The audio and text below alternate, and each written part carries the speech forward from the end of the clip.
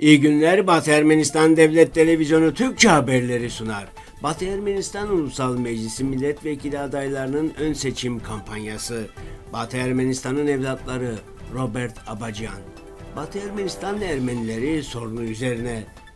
Erzor yolunun Bakü makamları tarafından ablukaya alınmasını kınayan bir karar ABD Senatosu'nda sunuldu. Bugün Montemelkonya'nı anma günü.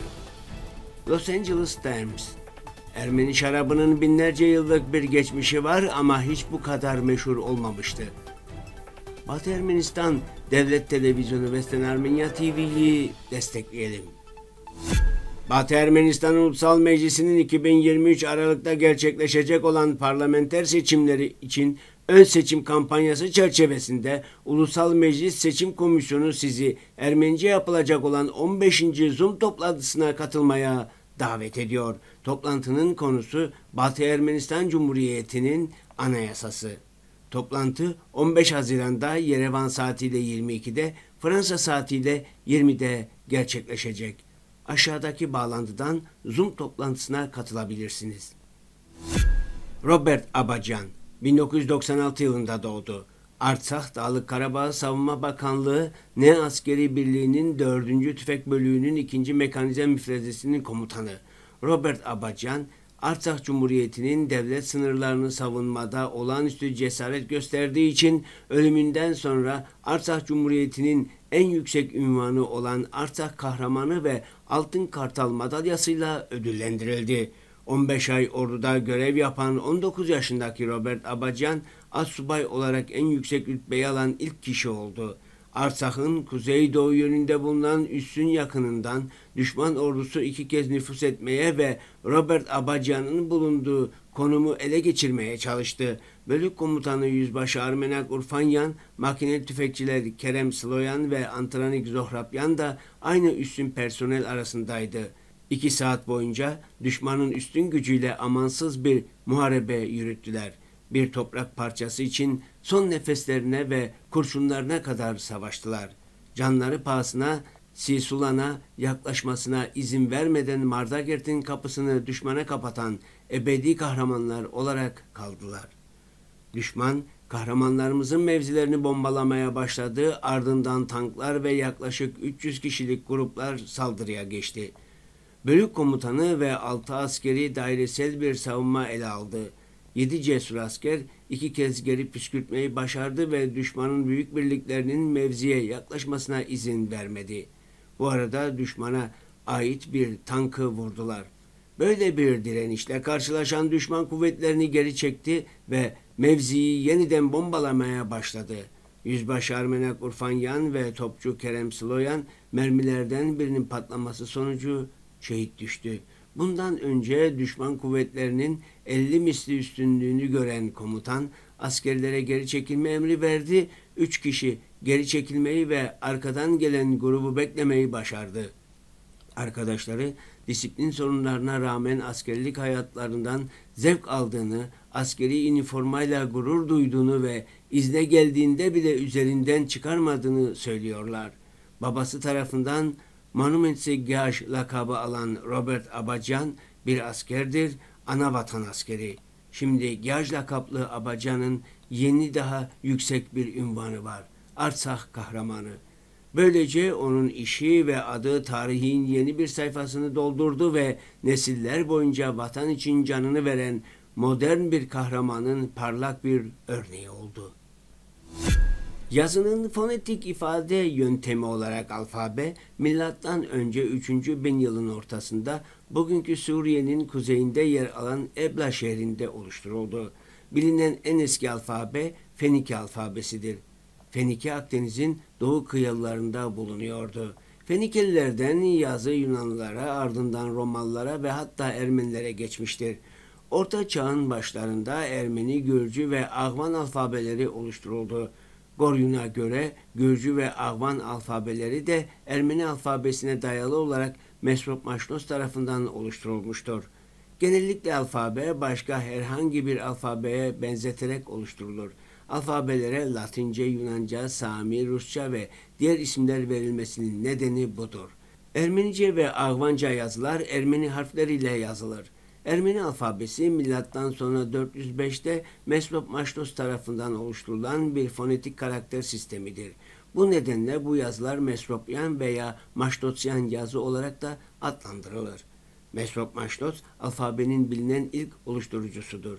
Eski Ermenice yazı defterlerine, yazıtlara Maştos'un öğrencileri Goryun ve Movses Horenatsi'nin tanıklıklarına dayanarak Ermeni yazısının yaratılmasının birkaç aşamasını ayırt etmek mümkündür. Maştot ilk aşamada Ermenice'nin sözlü konuşma fonetik sistemini tespit etmiş, ardından tespit edilen sesler için karakter sayısını belirlemiştir. Gatoygos, Saak Bartev ve diğer bilgili kişiler ona yardım etti. İkinci aşamada Ermeni harflerini yarattı. 36 harf. Maştos alfabesinin tüm harfleri yukarıdan aşağıya doğru inen uzun, kısa ve geniş, dikey ve yatay çizgilerle oluşturulur. Bileşenler arasında uzun olanı sağ veya sol tarafında yukarıdan aşağıya uygun konumu yer alan kısa ve geniş ince çizgilerle birbirine bağlanan ana çizgidir. Üçüncü aşamada maştos harfleri sıraladı. Sayısal değerlerini belirledi ve onlara uygun bir isim verdi. Dördüncü ve son aşamada ise yeni oluşturulan Ermeni harflerinin kullanım kurallarını belirledi, yazı sanatının temellerini geliştirdi. Goryun'a göre Maştos bu amaçla Samosa şehrinde Yunanlı yazar Hropanos ile birlikte Ermenice yazı stilini oluşturmuş ve ardından İncil'den bir alıntı çevirerek ilk Ermenice cümleyi yazmıştır. Bilgeliği ve eğitimi bilmek, dehanın sözlerini anlamak.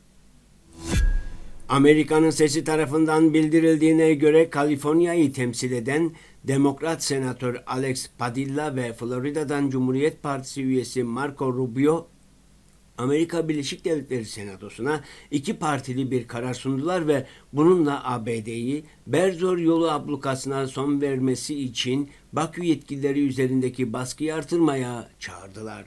Padilla bir tweette şunları yazdı. Bakü yetkililerinin arsa kuşatması 100 binden fazla Ermeniyi temel ihtiyaç maddelerinden mahrum etti. Bu insanlık dışı ve kabul edilemez. Bu nedenle bu ablukayı kınayan ve ABD'yi derhal harekete geçmeye çağıran iki partili bir karar sundum.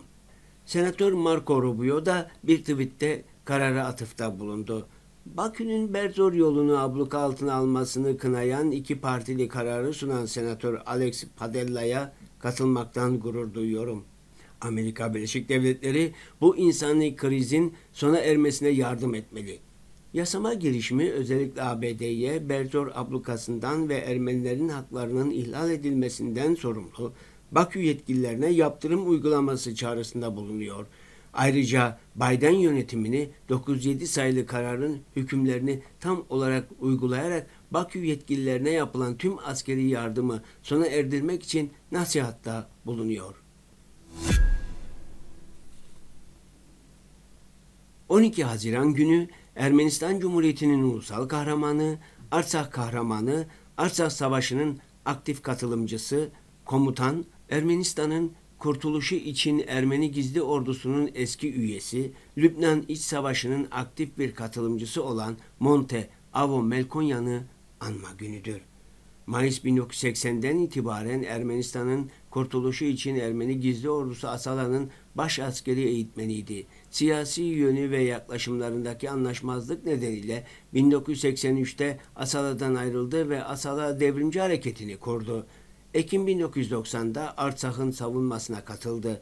1991 yılının başında vatansever timini kurdu. 1992'de Martuni savunma bölgesinin komutanıydı. Onun liderliğinde Martuni, Artsak'ın en güvenli ve en güçlü bölgesi haline geldi.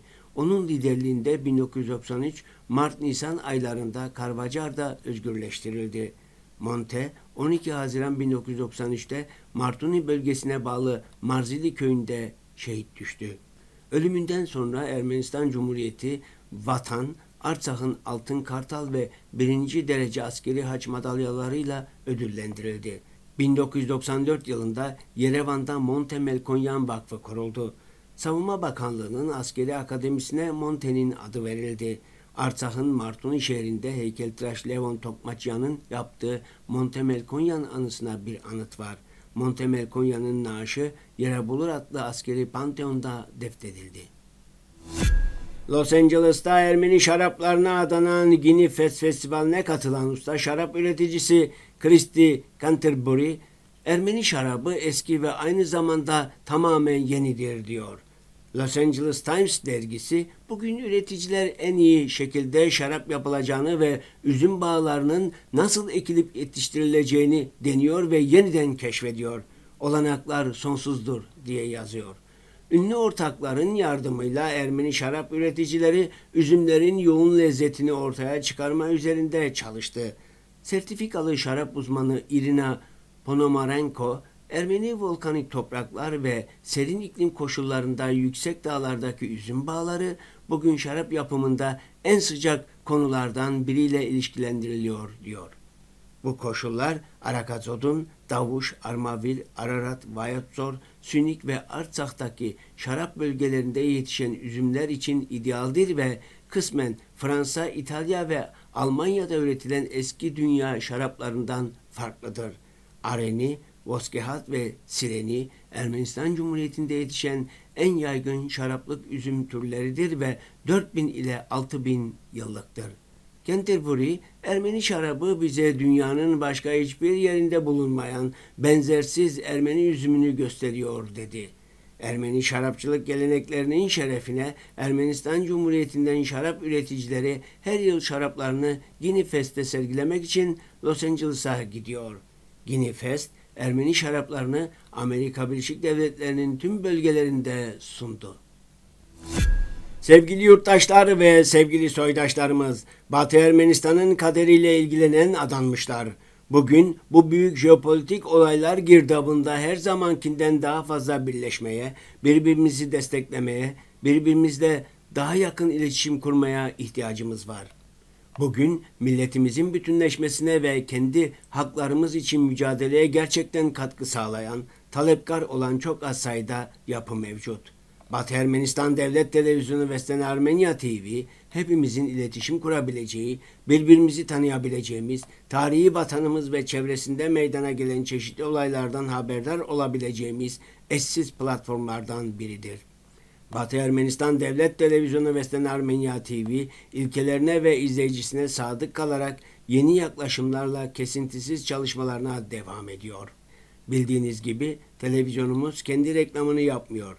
Ağırlıklı olarak Batı Ermenistan'ın tarihi, bugünü ve geleceği ile ilgili siyasi ve diğer bağlamların yanı sıra çeşitli konuları gündeme getiren haberler yayınlıyor.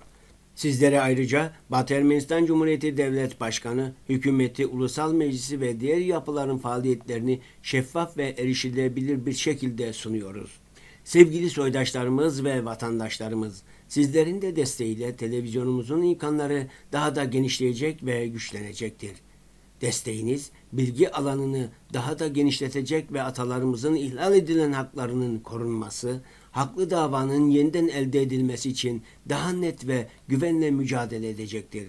Adaletin yeniden tesisi için gelin birlikte mücadele edelim. Birlikte daha fazlasını yapabiliriz. Birlikte biz daha güçlüyüz. Unutmayın, siz yoksanız biz bir eksiyiz.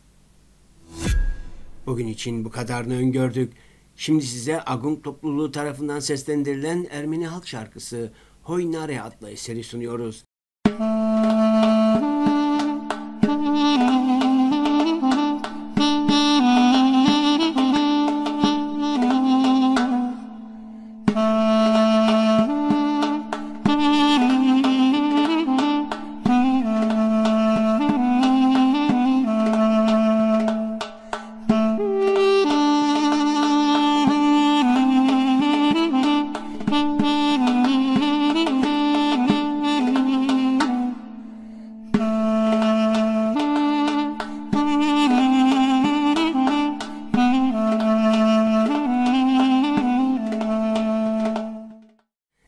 Tamamını Batı Ermenistan Devlet Televizyonu'nun resmi sitesinden izleyebilirsiniz. Hoşçakalın.